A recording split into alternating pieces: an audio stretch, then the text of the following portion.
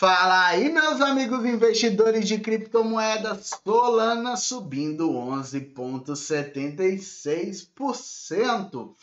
Que coisa maravilhosa para os investidores de Solana. Ela que tem somente 367 milhões de tokens circulando no mercado dos 537 milhões. Solana, pessoal, é uma das criptomoedas que eu acho que tem mais possibilidade de subidas explosivas, tá? De grandes valorizações. Vou contar tudo isso aqui durante esse vídeo. E se você gosta do meu conteúdo, já deixa um like e já seja inscrito no canal. O valor de mercado da Solana é de 4 bilhões de dólares. A gente tem um volume nas últimas 24 horas de 476 mil, mil do, eh, milhões de dólares, tá? Então a gente tem aí um, uma boa capitalização de mercado e um bom volume de mercado. Lembrando que esse é um dos grandes projetos. Infelizmente, ele sofreu a pancada porque a FTX era uma das maiores investidoras, mas eu ainda continuo acreditando no projeto. Acho que ela ainda pode se recuperar bastante. O que a gente tem que pensar é que a gente tem que fracionar nosso capital, tá? A gente temos aqui o gráfico da Solana, ela veio caindo de forma muito bruta por causa da FTX, encontrou um fundo aqui perto da região dos 11 dólares, 10 dólares e alguma coisa, e agora está tentando se recuperar.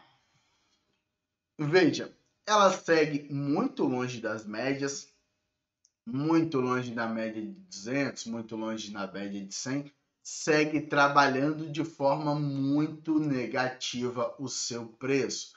Veja, ela é uma criptomoeda que já teve o seu pico de alta em 259 dólares.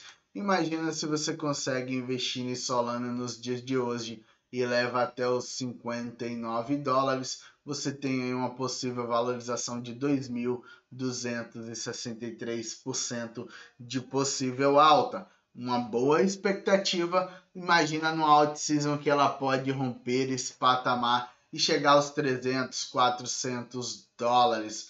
Pode trazer muita valorização para sua carteira. Então, de olho em Solana, que pode ser um bom investimento para 2023, 2024, 2025. Eu ainda não acredito em um out, em out season no ano de 2023. Eu acho que a gente ainda passa pelo inverno cripto.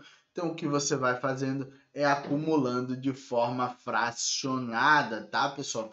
Comprando de pouquinho em pouquinho, dinheiro que não tenha impacto na sua família, dinheiro que você não vai sofrer grandes perdas caso o mercado continue em forte tendência de baixa. A gente aí tem um, um possível teste na média móvel de 20 períodos está lá nos 23 dólares. Pode ser que a gente se recupere. Acabamos de encontrar um fundo, rompemos a semana anterior. Pode ser que então a gente tenha uma reversão para alta se a semana fechar assim.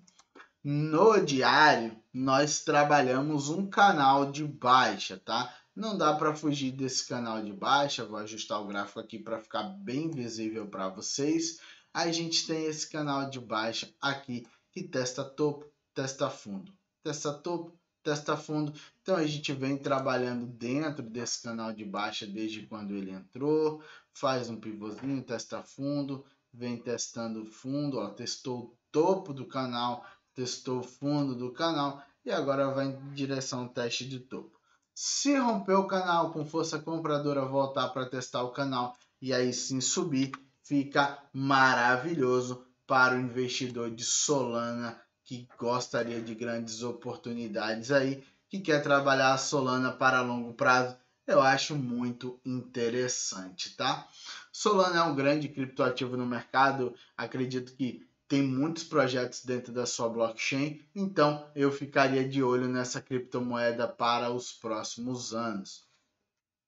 Os indicadores de Solana, médias móveis ainda estão em tendência de baixa, só que a gente trabalha muito longe a gente testou a região de sobrecompra do RSI, do estocástico, e do MACD, todos os três indicadores agora voltam a subir. Veja, a gente trabalha muito longe da média móvel de 100 períodos no diário e da média móvel de 200. A tendência é que a gente volte a testar essas médias móveis, assim como eu falei com vocês que a média móvel de 20 períodos no semanal está perto dessa mesma região. Pode ser que a gente tenha um pullback até lá, tá?